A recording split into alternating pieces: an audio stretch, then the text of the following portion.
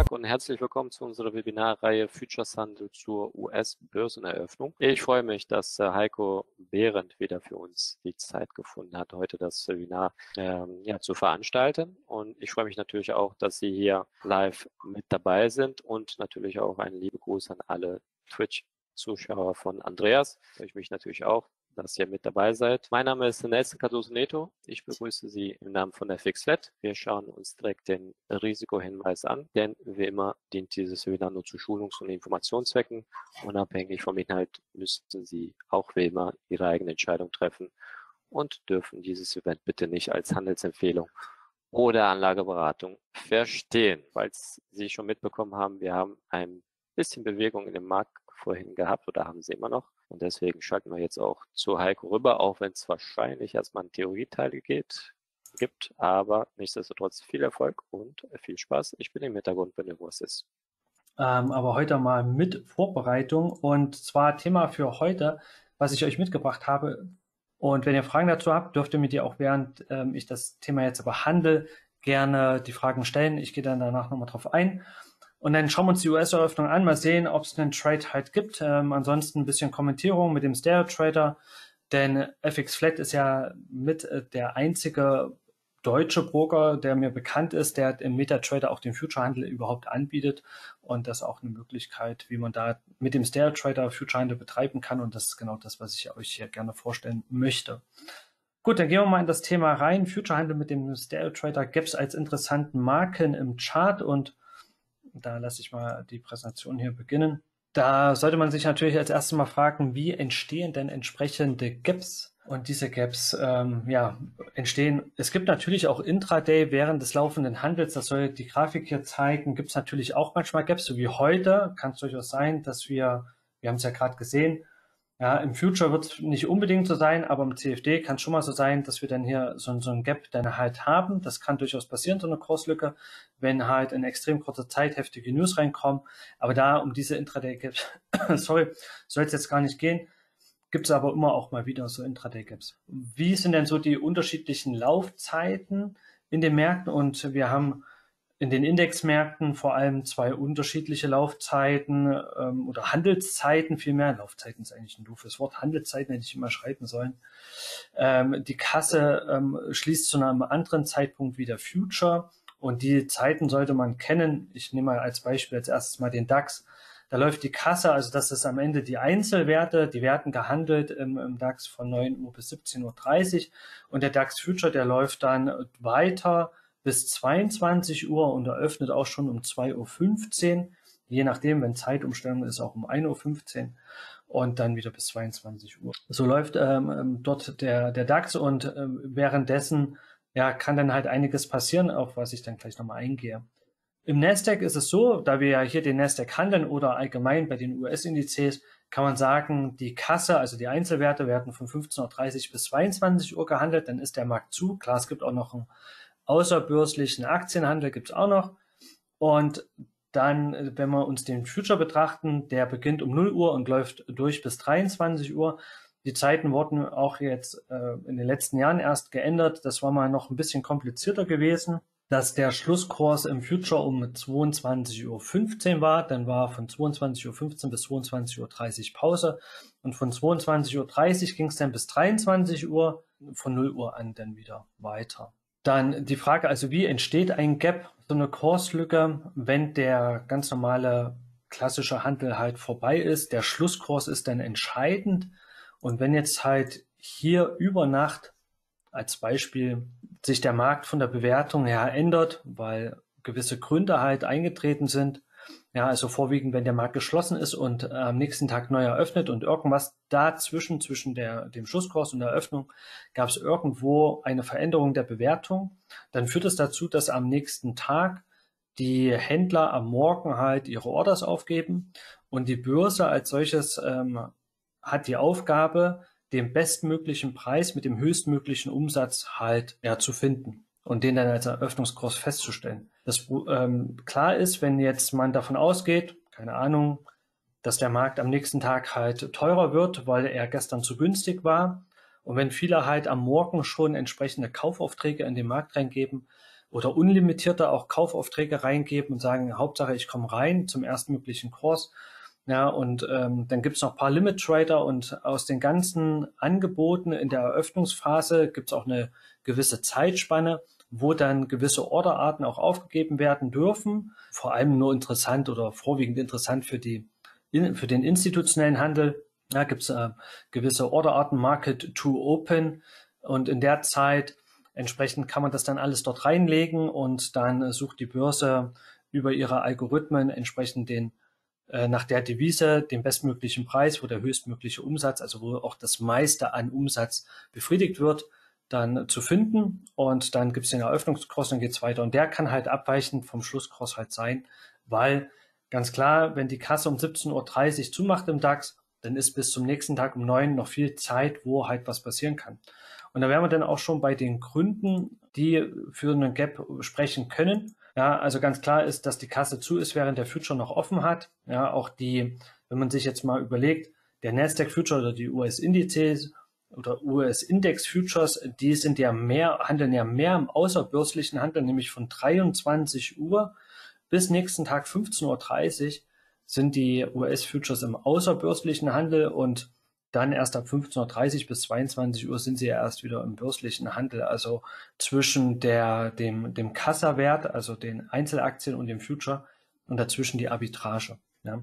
Wie gesagt, gibt natürlich auch noch den außerbörslichen Aktienhandel, der aber bei weitem nicht so liquide halt ist wie der börsliche Handel. Gut, das wäre einer der Gründe. Ein weiterer Grund wäre zum Beispiel Quartalszahlen von Schwergewichten. Ja. Apple kommt um 22.30 Uhr halt raus. Die Aktie macht nachbörslich 10%, einen 10%igen Sprung nach oben oder nach unten. Die Aktie ist mit circa 12% im Nasdaq gewichtet. Ja, und ähm, bei einer 12%igen Gewichtung und 10% Anstieg sind das halt 1,2% ähm, Veränderung im Index. Ja, also im, im Nasdaq halt irgendwie 100 Punkte hoch oder runter. Ja, wenn andere Aktien jetzt nicht komplett dagegen kretschen. Aber das wäre dann auch ganz klar ein Grund, wenn denn die Kasse am nächsten Tag aufmacht, dass dann äh, dort äh, die Kurse höher oder tiefer stehen, je nachdem, wie die Aktie dann halt reagiert hat. Nur als Beispiel. Äh, nicht jetzt von Tag zu Tag zu ist, sondern übers Wochenende die Börsen geschlossen sind. Ja, kann es auch sein, dass geopolitische News aus irgendwelchen Ländern, siehe Russland, ja, am Wochenende rauskommen oder dann kann das halt auch dazu führen, dass wir dann plötzlich dann äh, am nächsten Tag oder am am Montag oder am Sonntag dann vielmehr, also von Sonntag auf Montag zum, zum Wechsel dann, wenn dann die Futures wieder aufmachen, wir dann auch wieder einen Gap halt sehen. Ja, und zwischen den, zwischen den Zeiten, wo der Markt geschlossen ist, ähm, liegen auch ja unterschiedliche Handelsspannen. Ja, vor allem im Nasdaq Future ist es jetzt so, dass äh, zwischen 23 Uhr und 0 Uhr, da passiert jetzt nicht so viel. Also da gibt's dann eher weniger bis keine Gaps, sag ich jetzt mal, oder eher seltener. Ja, aber Durchaus sind die Schlusskurse ähm, 23 Uhr und 22 Uhr in den US-Indizes interessant und im DAX, äh, im DAX wären es halt um 17.30 Uhr und um 22 Uhr.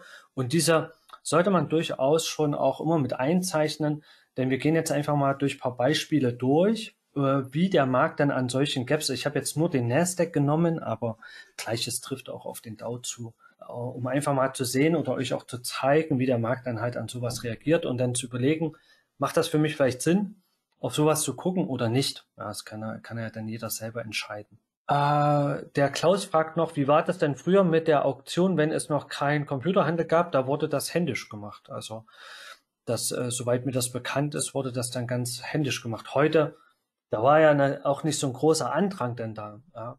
Aber sowas wurde händisch gemacht in so ein Orderbuch wurde dann eingetragen, ähm, ich gebe mein Limit, ich gebe einen Stop, ähm, Limit Kauf, Limit Verkauf, Stop Order oder welche, die der Market kaufen, egal zu welchem Preis. Und da ja jeder Order eine gewisse Rang- oder Reihenfolge, Rangfolge hat in ihrer Wertigkeit, kann man damit dann auch so einen Preis dann bestimmen. Soweit mir bekannt ist, also ähm, ich bin mir sogar, bin mir jetzt nicht 100% sicher, aber wenn man so eine Börsenprüfung macht, ähm, zum zertifizierten Eurex-Händler oder so, ich glaube, da muss man sogar so eine Auktion händisch durch exerzieren. Kann ich bestätigen. Sagen, Kann ich bestätigen. Ist ja, so. ne? Genau. Ja, du musst die Auktion ja. da durchmachen, gell? Und dann sagen, was ist der Öffnungskurs, gell? Ja. Korrekt. Sicher? Also man kriegt das genauso ohne Computer auch hin. Oder als Wissender sollte man das können. Höre da im Hintergrund, da hat jemand sich weitergebildet. Lange ist es her. Ja, ja. ja ich wollte das auch mal machen, aber ich habe dann gesehen, dass, ähm, dass diese Eurex-Prüfung nur eine, halt, eine, eine, eine gewisse Haltbarkeit hat. Ich glaube, fünf Jahre waren es gewesen. Drei Jahre. Ach, drei Jahre. Aber, ja. Genau. Ich glaube, es, es, äh, es geht mehr darum, äh, bezüglich äh, Einstellung, ähm, dass du diese Qualifikation genau. nur drei Jahre benutzen darfst. Gut, dann aber zurück zum Thema. Also man sollte durchaus sich überlegen, ob man halt, äh, also A, wisst ihr jetzt, wie die Gaps entstehen oder was die Gründe dafür sind? Ja, ich werde das immer mal wieder auch gefragt und sicherlich, ich denke mal hier, viele kennen das Thema. Aber jetzt können wir uns ja mal anschauen, falls ihr das bis jetzt noch nicht genutzt habt, wie, wie ich es äh, im Nasdaq benutze, das Ganze, um ähm, euch zu zeigen, auch wie der Markt dann dort reagiert. Dann schauen wir uns mal an, was so Beispiele sein können und, und vor allem zu sehen, wie der Markt sich daran verhält. Macht er um 22 Uhr zu und der Future um 23 Uhr. Ich habe jetzt hier mal, ja, ihr seht hier immer, ich habe zweimal, also zwei unterschiedliche Schlusskurse zeichne ich mir immer ein. Also den von 22 Uhr, das ist dann der Schlusskurs der Kasse, wo die Einzelwerte schließen und dann den Future, den kann ich so einstellen und kann halt auch einstellen, dass der Future dann, dass ich hier erst sehe, dass der um 15.30 Uhr wieder eröffnet. Und ihr seht, ihr seht ja jetzt hier schon, dass wir da sehr gut reagiert haben in dem Bereich. Also es war ein Hochpunkt und danach, dann, den hat der Markt ja erst 17 Uhr erreicht, äh, Gap geschlossen und dann wieder weg davon. Dann schauen wir uns mal das nächste an. Das nächste Beispiel, auch hier wieder Schlusskurs 22 Uhr, Kasse, Schluss Future 23 Uhr und die Eröffnung wieder um 15.30 Uhr. Also direkt auf, auf Scap hinzuhandeln ist eher äh, selten oder, oder passt eher seltener. Aber dennoch geht es äh, jetzt gar nicht darum zu sagen, ich handle jetzt hier direkt an Scap hin, sondern was man jetzt auch wieder sieht, dass der Markt halt erstmal davon weggeht. Aber das sind jetzt hier, ist das nur ein oder zwei Punkte Unterschied ja, zum Gap Close, dann läuft er zurück und dann sieht man hier, bleibt er doch relativ lange an dem Schlusskurs von 22 Uhr hängen. Ja. Also es hat schon durchaus immer mal eine Relevanz und da habe ich jetzt auch nicht wirklich weit, weit, weit, weit zurückgeguckt. Das hier ist der 8. Mai und da ist das dann immer ganz gut zu sehen als Referenzpunkt zum Schlusskurs. Ja, die Frage ist, ähm, ich selber handle jetzt nicht wirklich ähm, auf, also ich gucke, wenn der Markt dahin geht und das Gap halt versucht zu schließen, dann versuche ich das halt auch dahin zu handeln, aber prinzipiell gibt es jetzt keine Methodik, wo ich sage, ja, ich muss jetzt, äh, ich handle auf Gap Close, ja. Aber prinzipiell, wenn der Markt halt so eine Idee hat oder mir zeigt, okay, das könnte so ein Gap Close werden, dann versuche ich da einfach auch hinzukommen. Hier auch nochmal vom 21. April, da seht ihr den Schlusskurs um 22 Uhr wieder.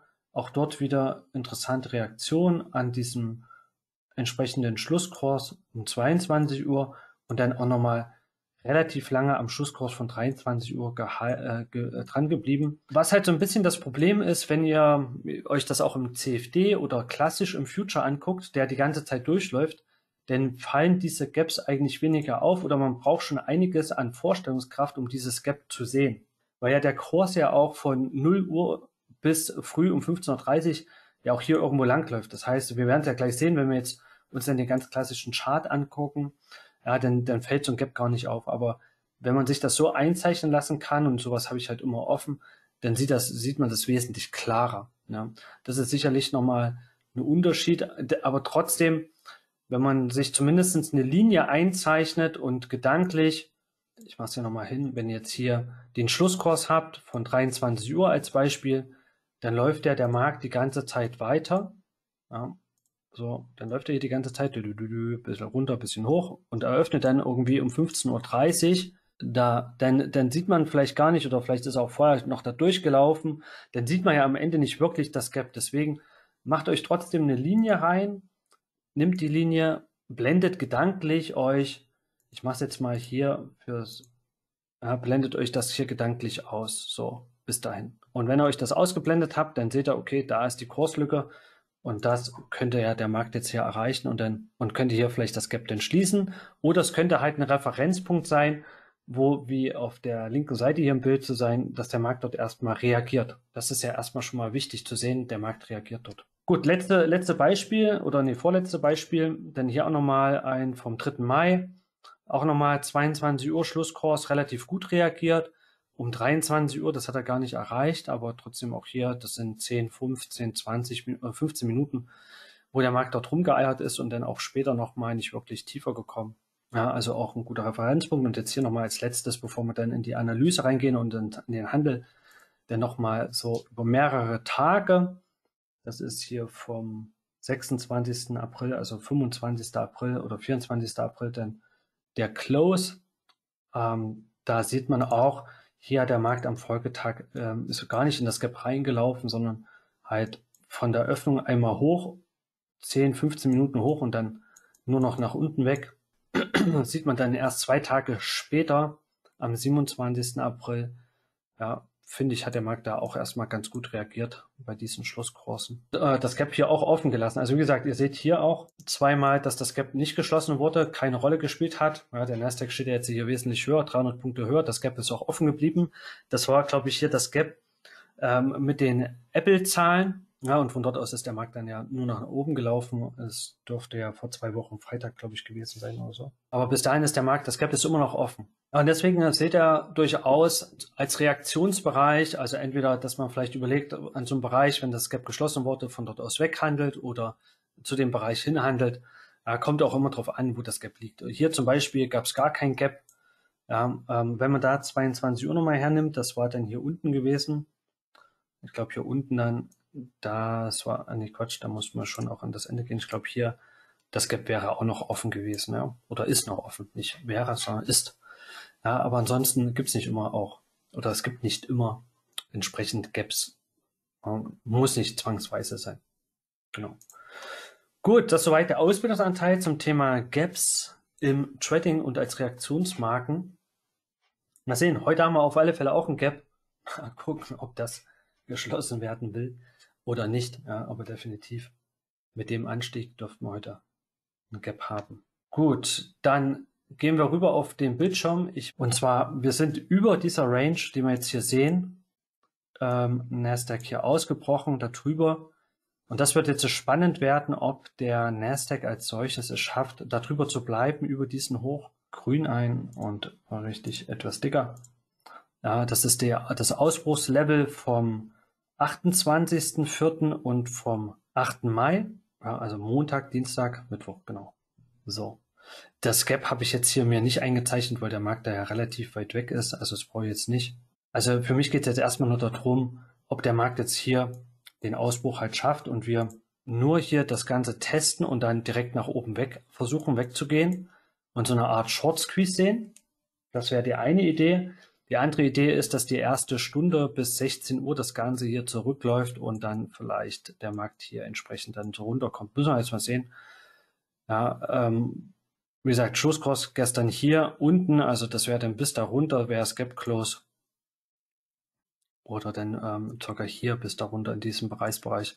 Aber das ist ja noch eine ganze Ecke hin. Das sind äh, knapp 100 Punkte, die der Markt dann fallen ähm, müsste. Falls er da hinkommt, kann man sich ja das Gap dann immer noch einzeichnen, aber das wäre jetzt das. Jetzt sehen wir hier, dass der Markt hier erstmal doch deutlich nach oben geht, also ähm, ziemlicher Squeeze-Charakter. Jetzt haben wir wieder, echt krass, ne? steht da, steht's wieder so. Also ziemlicher Squeeze, jetzt hier selbst im Stundenchart sieht man es nach der ganzen wohlerarmen Zeit von gestern und vorgestern, ja, durchaus wünschenswert, aber muss man jetzt mal sehen, wo man dort entsprechenden Trade halt findet. Dann gehen wir mal von der Stunde runter in den 5-Minuten-Chart. Und da sehen wir hier, zur Eröffnung ging es genau bis an das Level dran.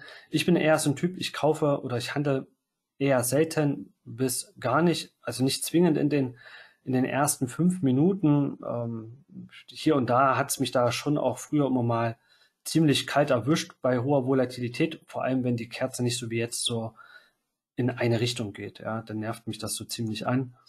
Wäre heute sicherlich vielleicht ein bisschen passender gewesen, aber weiß jetzt nicht, ob ich da direkt reingesprungen wäre. Ich glaube es eher nicht. Also ich kenne ja mich und meinen Handel, also es täte zumindest so passen als Einstieg im Trend, dass ich hier drüber den, das wäre hier klassisch ein Einstieg im Trend, also ein Long Trade. Ich hätte aber auf der anderen Seite, glaube ich, schon eher darauf gesetzt, dass der Markt aufgrund der starken vorbürstlichen Bewegung, ist auch nicht immer so, aber durchaus nochmal runterdippt äh, vielleicht hier bis hierhin geht oder bis ans Tageshoch vom Vortag ranläuft, um dann äh, entsprechend erst zu steigen. Also ich wäre jetzt nicht davon ausgegangen, dass die hier gleich so nach oben Gas geben. Ja. Ja, dann äh, habe ich das Ganze immer hier mit den Einzelaktien ähm, ringsrum so ein bisschen platziert. Normalerweise hier auf der rechten Seite wären jetzt noch unterschiedliche Zeiteinheiten, ähm, die Stunde oder auch der 15-Minuten-Chart ähm, oder auch der Dow, den man damit aufmachen kann. Das ist irgendwie, weiß nicht, wo es hin ist. Es ist jedenfalls nicht mehr da. Gut, also von daher muss ich da ein bisschen abweichend, aber jetzt für das kurzfristige Bild ist es jetzt auch nicht so entscheidend. Dann können wir hier auch nochmal runtergehen in, dem, in die Minute und können hier nochmal ähm, den 5-Minuten-Chart dahinter anmachen. Das ist der X-Frame-Indikator. Und dann sehen wir jetzt die erste Minutenkerze oder erste 5-Minuten-Kerze schon ziemlich stark Action.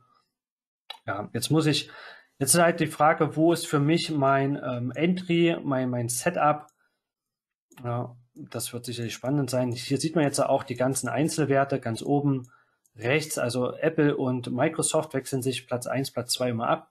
Apple in dem Fall über dem Hoch drüber von gestern, die Microsoft am Hoch dran, daneben links äh, Amazon über das Hoch drüber, deutlich über das Hoch von gestern drüber und dann auch hier die Tesla auch deutlich drüber, also auch ordentlich gesqueezed und die Nvidia. Von der Idee her, äh, gerade schreibt noch der Klaus, der Nasdaq hat das gestrige Hoch bei 13.300, in der Nähe liegt auch der äh, PPR2, das könnte ein signifikanter Widerstand äh, bedeuten im M5. Ja, könnte bedeuten, ich weiß jetzt nicht, wo das im Future halt jetzt ist. Ja, also hier ist jetzt der ähm, Mikro Nasdaq Future für den Verfall im Juni, den ihr jetzt hier seht und der steht woanders als der CFD. Ja, und von daher, ähm, ich selber nutze den R2, also ich nutze die Pivot-Punkte als solches nicht. Mal gucken, wo der, der Stereo Trader mir den hier ausspuckt, diesen Pivot-Punkt. Äh, Pivot-Punkt vom Tag davor. Da wären wir drüber, also im, zumindest im Future wären wir da drüber. Äh, was ich festgestellt habe, äh, Nelson, ich habe letztens GoToMeeting in einem Coaching benutzt und hatte da auch Live-Trading in einem ähm, 1 zu 1 Live-Coaching. Also GoToMeeting ging bei mir. Box-Setup also hier unten, das wäre vielleicht, na gut, das nicht, aber hier oben ähm, Frage gerade wegen Box-Setup. Box-Setup nicht wirklich, weil es erst in der dritten Minute der 5-Minuten-Kerze passiert ist. Also das wäre jetzt ja kein echtes Box-Setup. Also wenn man, es kommt ja auch immer drauf an, wie hart legt man die Regeln halt auch aus für sich. Aber prinzipiell ja, der Markt ist ja leicht über das Hoch, der da reconnected. Also ich glaube, äh, wenn ich heute schon merke, dass hier schon wieder so viel softwaremäßig irgendwie im Argen ist, dann muss ich erst überlegen, ob ich dann den Trade halt hier eingehen kann weil es ja hier auch ein Echtgeldkonto ist. Wir sind jetzt hier, äh, ihr seht das im 5-Minuten-Chart knapp darüber gelaufen, über das letzte Hoch und mal sehen, wie weit der Markt jetzt hier runterkommt. Also ich warte jetzt mal ab, ähm, wie sich der Markt unter der 13.366 hier verhält. Ja, so ein bisschen Rücksetzer hätte mir schon gefallen. Also ich würde hier schon gucken, ob man hier unterhalb, ähm, also entweder da durchhandelt, durch die 66 oder dann hier unten in dem Bereich vom Vortageshoch, ähm, da würde ich dann nochmal nach Long gucken. Also die beiden Sachen. Eventuell vielleicht der Short da durch oder hier in diesem Bereich nochmal gucken, ob es da eine Reaktion gibt in Richtung Long als Test Vortageshoch und dann nochmal weg nach oben. Wenn das hier fällt in dieser Bereich, dann darf der Markt relativ weit sogar runterkommen, der Nasdaq, und dann vielleicht sogar auch sein Gap schließen. Ja. Also eigentlich wäre es, also mich, also ich selber bin meine, am Ende muss man das nehmen, was einem der Markt halt anbietet. Für mich ist die Reaktion eigentlich völlig übertrieben auf der Oberseite. So, da kommt der Markt auch schon ein bisschen runter. Wir sehen das jetzt hier auch in den ähm, Einzelaktien. So, mal sehen. Also, das sieht jetzt ja erstmal schon ganz gut aus hier. Was haben wir denn hier an Volatilität? 70 Punkte, okay. So, jetzt kommt eigentlich der Druck rein, den ich da gerne sehen möchte. Das Problem ist, ich brauche hier irgendwie ein Setup, was ich handeln kann. Und das habe ich nicht. Also jetzt habe ich immer noch ein Long Setup. Aber wenn die jetzt hier wirklich Gas geben nach unten. Gut, also bei dem Short ähm, klar ist, jetzt kann man sagen, ja, warum ist er da nicht reingesprungen oder so? A, hätte ich schneller sein müssen und B, wenn ich dann hier unten nochmal überlege, ob der Markt vielleicht da unten abprallt und vielleicht die Long-Richtung eingeht, ja, wenn ich hier nicht geklickt habe bei dem Durchbruch, bei dem möglichen, dann bin ich ja zu spät, weil dann bin ich ja auch schon unten. Also da, da kann ich dann nicht mehr klicken. So. Eigentlich muss, also das dauert jetzt fast oder könnte länger dauern, weil ich brauche für einen Short Trade brauche jetzt folgendes. Also ich bräuchte jetzt ja für einen Short Trade folgendes. Ich kann es ja schon mal einzeichnen, dass der Markt hier hochgeht, irgendwo dahin und dann, dass wir dann halt nach unten fallen. Also hier jetzt einen prozyklischen Trade reinmachen, kommt für mich nicht in Frage. Hier unten, das wäre noch vielleicht noch mal eine Möglichkeit zu sagen, okay, der Markt, ähm, der hat hier unten schon mal gehalten in diesem Bereich. Wenn er da jetzt nochmal hält, komme ich vielleicht mit einem engen Stop hin. Da hätte ich aber auch schon drin sein müssen, weil allein jetzt sind das schon wieder 40 Punkte fast oder 30 Punkte an Stop Loss. sind dann pro Kontrakt 30 Punkte, 60 Euro ganz grob äh, pro Kontrakt an Stop. Bei zwei Kontrakten 120 Euro muss man halt überlegen, ob man denn sowas halt macht. Ja. Also da möchte ich irgendwie einen geringeren Stop haben. Also ihr dürft mir versichern, äh, oder ich darf euch versichern, dass diese Aussetzer wirklich nur sind, wenn ich Webinar halte. Also normalerweise bleibt das nicht stehen. Und wenn, dann bleibt das mal kurz stehen, aber das ist äh, wirklich eher Ausnahme. Aber ich weiß nicht, so jetzt ist wieder die Verbindung. Ich habe keine Ahnung.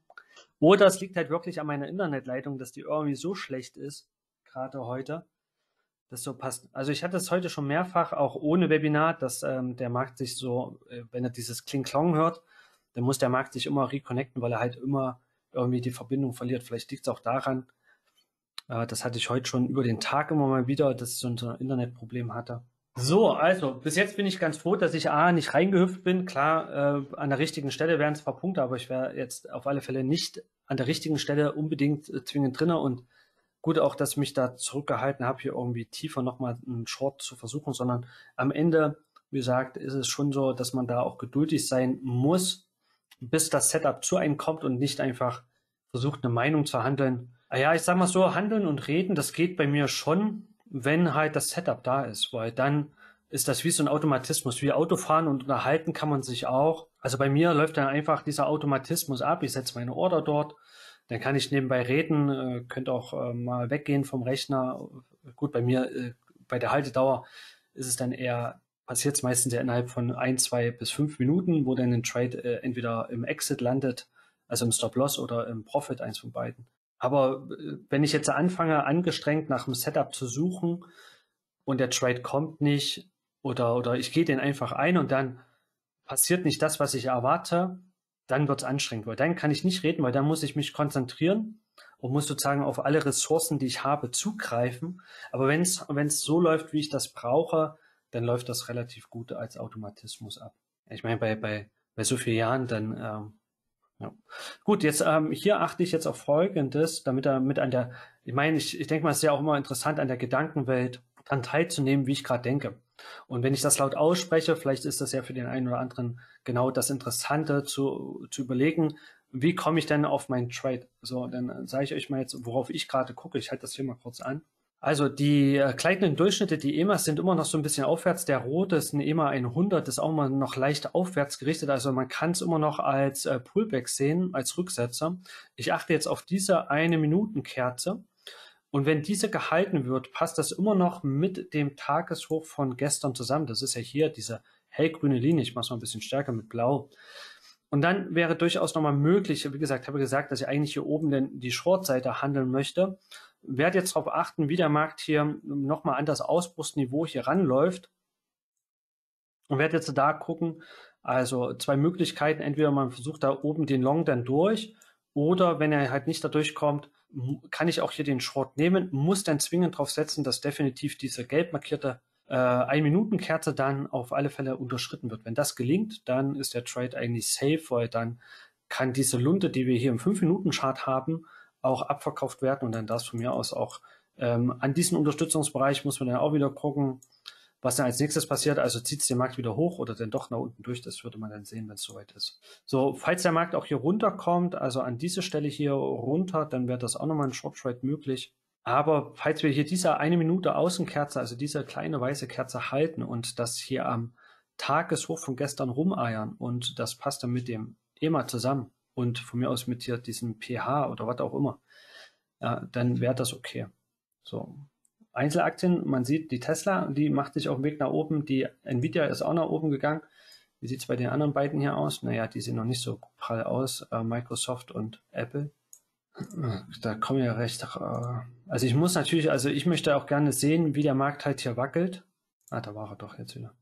Ich glaube, ich habe am Internet irgendwelche Probleme. Ich glaube, wenn ich jetzt einen Speedtest mache. Also da, das, das ist jetzt genau die entscheidende, für mich, jetzt so ein bisschen die, die, die Entscheidung hier in diesem Bereich, jetzt mit der neuen 5-Minuten-Kerze auch, wo der Markt jetzt hingeht. Ja, ist halt die Überlegung. Also für, für weiter long, äh, weil gerade da auch die Frage kam, also weiter long, da wäre es natürlich ideal, wenn wir noch viel, viel tiefer korrigieren. Ja, so, äh, das hier oben ist dann schon so nur Minimum-Korrektur und wir haben auch so ein letztes Tief gebrochen. Ja, also eigentlich, wenn ich, wenn, wenn Short wäre eigentlich hier oben erst so in Richtung 13, also im, im Nasdaq Future wäre es die 13.400 eigentlich. Also wie gesagt, bin immer noch leicht long hier eingestellt in Richtung der 13.366. 30 kann man schon mal auch riskieren dann. Also wenn der Markt halt äh, das Hoch von gestern halt kauft, dann ist es halt einfach jemand, der ganz klassisch sagt, am Hoch vom Vortag wenn der von oben kommt, kaufe ich. Das ist, das ist ein ganz typischer Grund auch von, von, von Leuten zu sagen, ich kaufe da halt, ja. Die Kasse sieht halt mir nicht so schön aus. Also die Apple schwächelt, die Microsoft geht nach oben. Das ist dann schon wieder der Nerv, weil, weil die Future Trader müssen dann auch gegen die Aktien dann auch an, antreten und da brauchst halt auch ein bisschen Volumen. So, hält er es oder hält er es nicht?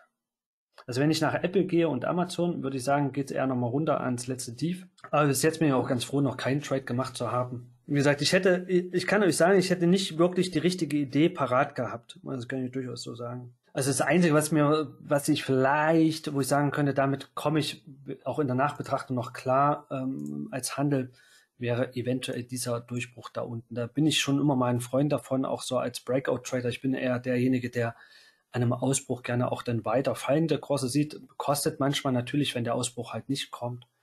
Da bin ich durchaus schon mal ein Freund davon, aber das wäre der einzige Trade. Aber sonst hätte ich da jetzt auch weiter nichts im Angebot gehabt. Ja, hier weiß ich jetzt nicht so richtig, wo will man hin. So richtig longlastig sieht es nicht mehr aus, ne? Aber kann halt auch aus dem Nichts dann plötzlich doch die lange Kerze kommen, eine Minute oder zwei Minuten. Und dann passiert es halt doch wieder. Aber wenn ich hier da Apple sehe, bräuchten sozusagen jetzt eine Kauforder in Microsoft und Amazon, dann wäre es okay. Also Amazon verteidigt den, den, den Boden und die anderen das. Äh, Microsoft äh, macht so ein 1, 2, 3 Tief und geht wieder ans Tageshoch, dann könnte es was, könnte was werden, aber so sieht das bis jetzt nicht so ganz so gut aus. War gestern auch schon so die Mega-Schere. Ich glaube gestern ähm, ja, hier Apple äh, ziemlich geschwächelt, glaube ich, und ja gut, am Ende auch geschwächelt. So, also meine, meine Außenkerze hier, auf die ich jetzt fokussiert hatte, die hat so ein bisschen gehalten.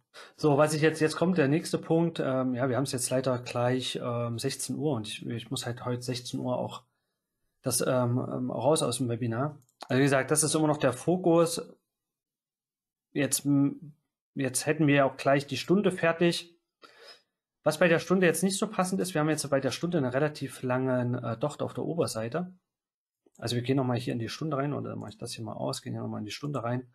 Also die Stundenkerze sieht jetzt mal nicht so prickelnd aus. Ja? Die sieht dann eher aus, oh, das war ein Peer-Ausbruch. Also das wäre jetzt das, was mich mit der neuen Stunde so ein bisschen stören würde. Klar, wir haben jetzt noch vier Minuten. Ja, in vier Minuten kann wirklich äh, bis zum Stundenklaus auch viel passieren, aber falls halt nicht so viel passiert, bleibt halt so ein Docht.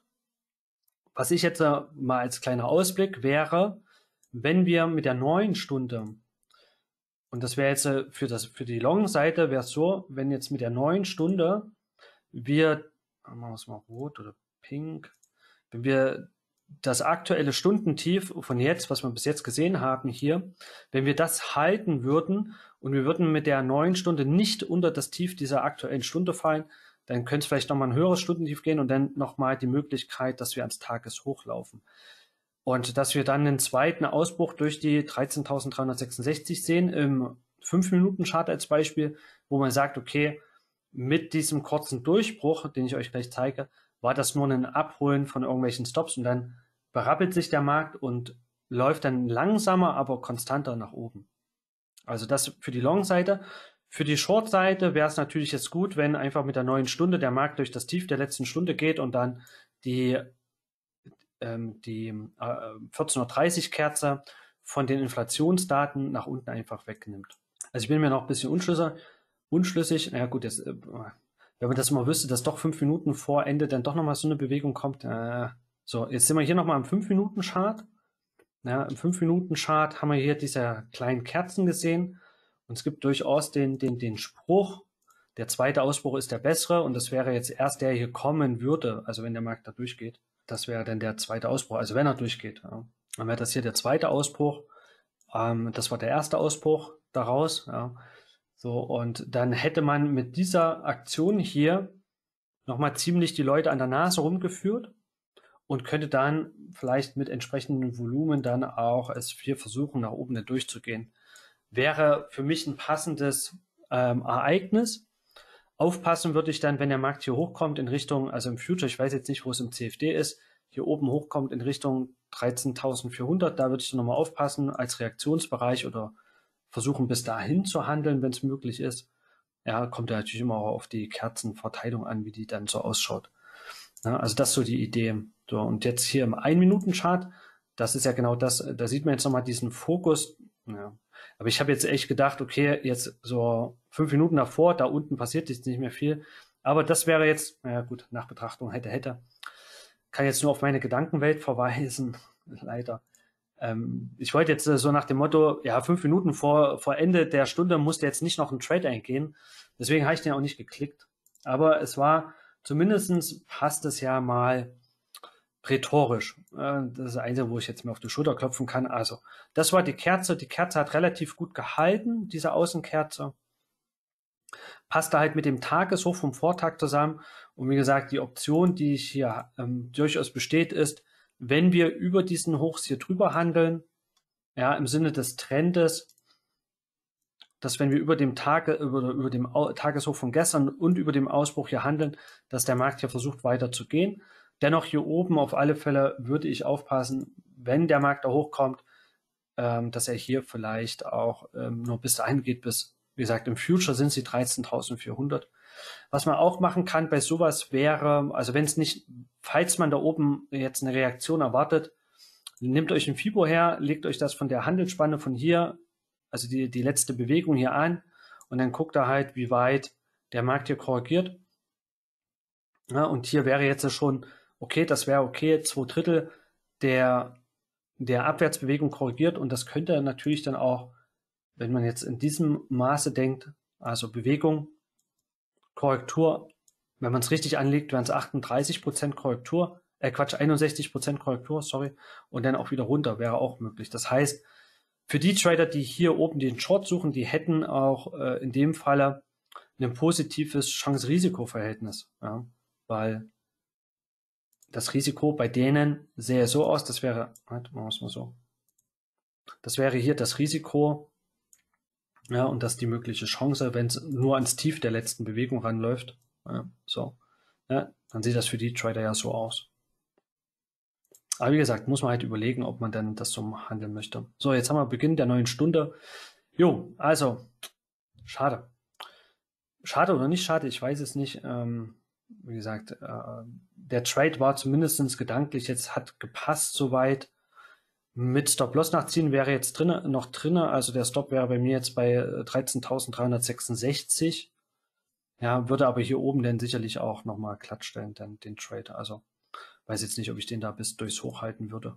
Glaube ich eher nicht. Kenne mich ja. Also ich glaube, ich würde hier bei 13.400 dann einfach rausgehen und sagen, das war's. Schimmer auf DAX und DAO. Wie gesagt, ich habe ja gerade hier ähm, wie gesagt, DAX und DAO, äh, oder zumindestens jetzt die anderen Märkte, ah ja, oh, ordentlicher Umgang. Gut, also hier sieht man's. Ähm, das ist auch manchmal ganz gut, wenn man ja nur den Markt beobachtet, den man dann wirklich für sich dann auch handeln, handelt. Ähm, und das äh, ist ja jetzt auch ja in letzter Zeit schon immer auch wieder auffällig, na, wenn man sich den, hier den Nasdaq anschaut, wie teilweise extrem unterschiedlich er sich zu den anderen Märkten be bewegt. Und der, also am Ende ist der ganz oben hier der Nasdaq, ach Quatsch, der Nasdaq, der S&P 500 ist, ähm, kann man so sagen, durchaus genau die Mitte oder das Mittelmaß aus Nasdaq plus Dow. Ja, der Dow hat ja sogar hier das komplett ans Tief abgegeben.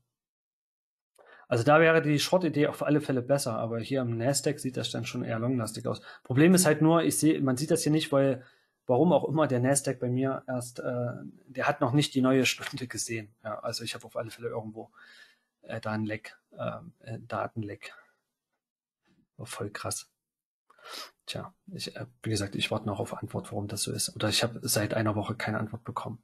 Ja, also bei so einer kontinuierlichen Bewegung ist es dann schon, ja, dann doch ärgerlich, in der Nachbetrachtung den, den Klick zumindest nicht gemacht zu haben, allein über einen Stop-Loss im 1-Minuten-Chart. Ja, wäre der Stop jetzt hier ohne, ohne Gefahr, ja, wäre man jetzt hier angekommen. Aber ich weiß auch, dass ich wahrscheinlich mit recht hoher Wahrscheinlichkeit hier einfach rausgeklickt hätte. Ja. Vielleicht noch mit einer Limit Pullback, die mich vielleicht noch mal einen Punkt weitergebracht hätte, aber wahrscheinlich wäre ich hier oben raus. Also zumindest, wenn ich einfach mal meinen Handel so ähm, Revue passieren lasse, den ich äh, ja von mir kenne über die Jahre. Ja. Also da seht ihr aber, der, der Trigger oder die interessanteste Marke war diese Kerze und dass die gehalten hat. Damit ist diese zweite Shortwelle, die man hier erwarten konnte, vielleicht nicht durchgegangen. Und in Kombination hat es halt gepasst, so ein bisschen mit dem gleitenden Durchschnitt plus mit dem Tageshoch vom Vortag an der Stelle, dass das jetzt gekauft wurde. So würde ich es halt sehen. Jo, da macht der Markt hier in äh, sieben oder in acht Minuten halt, ich wollte das hier doch so eine krasse Bewegung. Äh, schöne 60 Punkte. Ja. Und das Risiko war eigentlich relativ äh, eng. Ja, das Risiko war, also im Maximum wäre das Risiko 30 Punkte gewesen, im Minimum 15 Punkte. Ja, 15 zu 60 wäre natürlich nice. Genau. Also ich hätte natürlich diese, die Long-Idee, wobei das auch nochmal als Frage kam, also die Long-Idee hätte ich definitiv auch verlassen. Oder wenn der Markt hier drunter gelaufen wäre, dann wäre die Long-Idee für mich natürlich kaputt gewesen. Ja. So ist es so, so ein bisschen der Verlauf.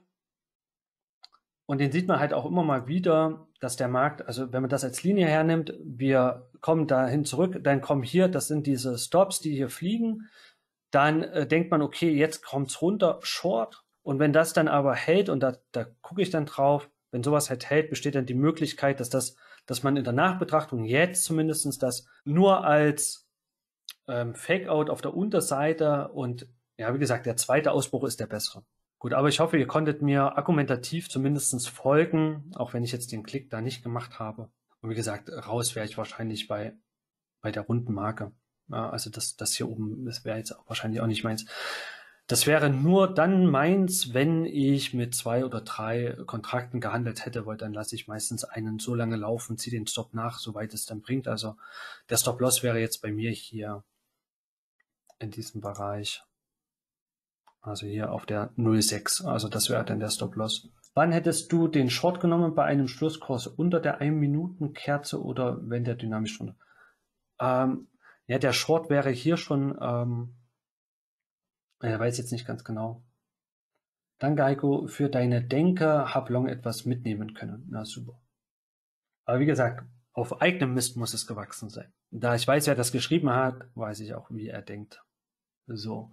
Also den Short, wann hätte ich den Short genommen? Also der Short wäre echt problematisch gewesen. Warum? Weil, das will ich noch erklären, bevor ich jetzt aber, denn ich muss langsam hier wirklich jetzt los. Ähm, der Short hier unten zumindest wäre problematisch gewesen, weil halt, dafür musste ich die 5-Minuten-Kerze einblenden. Also 5-Minuten-Kerze. Also 5-Minuten-Kerze. Was hätte ich, was hätte man mit dem Short handeln müssen? Man hätte mit dem, oder man würde mit dem Short diesen, diese Lunte, die ich jetzt hier rot markiert habe, im 5-Minuten-Chart, ganz leicht hier zu sehen, die hätte man weghandeln müssen. Wenn ich jetzt hier drunter, also ich, ich hätte ja mit dieser 1-Minuten-Kerze definitiv einen Schlusskurs da drunter warten müssen. So, wenn jetzt die, fünf, die eine Minute da unten schließt, dann bliebe mir genau das gleiche nur übrig, wie ich es davor hätte machen müssen. Also wenn man hier den Short genommen hätte, dann, dann muss man bereit sein zu sagen, okay, wenn der da durch, also der muss dann zwingend da durchfallen, weil das Risiko hier oben ist einfach relativ hoch, äh, was man dann hat für den Short. Also wenn es so aufgegangen wäre, okay, ähm, ja, dann, ich sag mal, da hätte ich sehen müssen, wie der Markt halt runterfällt, fällt er dynamisch, dann klicke ich da vielleicht noch mal rein, habe aber den SL ganz eng oder zumindest gucke, wie der Markt dann zuckt am letzten Tief und hätte der da nur eine Minute gewartet, dann wäre ich auf alle Fälle wieder raus gewesen. Ja. Also solche Durchbrüche zu tief zu handeln können, also es muss man, oder was man bei sowas erreichen muss, ist, dass der Markt oder dass man den Trade dort eingeht. Also man darf nicht zu tief reingehen, man muss den Trade so eingehen, dass falls er von hier unten aus wieder zurückkommt, dass man zumindest die Chance hat, plus minus null rauszugehen. Also so zehn Punkte Spiel wäre da schon ganz nice. Das Tool, mit dem ich zeichne, das heißt Point to Fix. Point to fix. Was natürlich, ähm, ja, das ist halt echt krass, dass es jetzt genau so läuft, wie man sich eigentlich als Trader wünschen würde. Nämlich, dass hier wirklich in den letzten zehn Minuten, also fünf Minuten vor Handelsende, diese Order hier losgetreten wird und man eigentlich hier keine einzige Ein-Minuten-Kerze, verdammt nochmal, fällt unter das Tief einer vorhergehenden Ein-Minuten-Kerze. ist ja unglaublich. Ja, also wirklich ähm, schon mega stark. Ja, also, wenn wir jetzt hier zählen, ja, hier ging's los mit der Kerze und ab da alles nur höhere Tiefs oder, naja gut, hier ein Punkt drunter, aber, aber sonst gleich hohe Tiefs und dann beginnt hier die neue Stunde und gleich die neue Stunde macht den Ballermann und jede Kerze jetzt hier höher. Ja, also wo man da manchmal hinkommt, wenn man da im Ein-Minuten-Chart selbst im Nasdaq nur den Stop nachzieht, das ist manchmal schon echt krass. Gut, jetzt muss ich weg vom Rechner, damit ich nicht wirklich noch anfange, mich zu ärgern. Und wünsche euch auf alle Fälle erfolgreiche Trades. Ähm, Zumindest schön zu sehen, mit einem zwinkernden Auge, von wo aus das gestartet ist, dass man das recht gut verifizieren konnte, den Bereichsbereich und achtet einfach beim nächsten Mal darauf, falls ihr ähm, denkt, ihr, das Short-Szenario macht Sinn, achtet mal darauf, wenn euer Short-Szenario, was ihr hier habt, wenn euer Short-Szenario nicht durchgeht, dann schaut mal nach links ob ihr dann halt solche Ein-Minuten-Kerze, wie sie jetzt heute hier in diesem Video rausgearbeitet wurde, ob das genau so ein störender Faktor ist. Und wenn ihr das seht, dann habt ihr vielleicht auch einen Grund, vielleicht an der Stelle keinen Short zu machen. Wie gesagt, ich war ja kurz und kurz auch dran, den Short, also ich hatte ja, wenn ihr euch das Video auch nochmal anguckt, auch kurz davor ja den Short-Gedanken, dass ich gesagt habe, ich gehe da oben Short, aber dann auf einmal kam die Lage der Ein- und Fünf-Minuten-Kerze etwas anders und schon musste ich gedanklich auf Long switchen und gut, äh, das Ergebnis kannte ich ja nicht. Ich sehe es jetzt, ja, und es ist äh, doch wesentlich besser ausgefallen, als ich gedacht habe. Grund ist halt einfach, ich habe mich selber hier rausgenommen aus dem Spiel, gesagt, ja, fünf Minuten vorher muss ich jetzt fünf Minuten vor Schluss, äh, bei mir war ja dann eher die Gefahr, ich weiß ja nicht, dass diese Bewegung kommt, aber jetzt stellt man sich vor, jetzt bin ich hier in dem Trade drin und jetzt eiert der Markt wenn das so wie gestern gewesen wäre, nochmal 10, 15 Minuten da hin und her, ja, dann kommt man da nicht raus und dann muss man halt irgendwie rausgehen. Und da dachte ich mir, das erspare ich mir. Hätte ich gewusst, dass es so kommt. Aber da habe ich da die Glaskugel nicht gut genug geputzt. So, jetzt muss ich auch ganz dringend los. Ähm, es ist höchste Eisenbahn. Ich wünsche euch ganz viel ähm, weiterhin erfolgreiche Trades. Wir sehen uns dann im nächsten Monat wieder. Oder war der nächste Monat dann frei, wo ich dann schon Urlaub habe? Nee, ich habe jetzt gerade hier. Ich glaube, 14. Juni haben wir noch. Jawohl. Achso, wir haben ja erst Juni, genau. Da haben wir noch. Mhm. Ich freue mich drauf. Das ist wieder in der Zeit, wo ähm, Fed-Zinsentscheid, EZB-Zinsentscheid und am Freitag ist da der große Verfall. Habe ich auf meiner Übersichtskalender hier. Genau. Hat mir wie immer trotzdem viel Spaß gemacht, auch wenn jetzt der Klick nicht war und ähm, damit ähm, das Geld nicht in meine Tasche gewandert ist, aber der Trade per se oder die Idee Zumindest die Idee war gut erkannt, gut rausgearbeitet. Ähm, viel Spaß beim Umsetzen oder auch beim ähm, Rausknobeln. Und dann wünsche ich euch allzeit gute Trades und freue mich, wenn wir uns dann nächsten Monat, also am 14.06. dann wiedersehen. Bis dahin, ciao, ciao, euer Heiko. Und wenn ihr später das Video seht, lasst doch gerne einen Daumen nach oben da. Bis dahin, tschüss.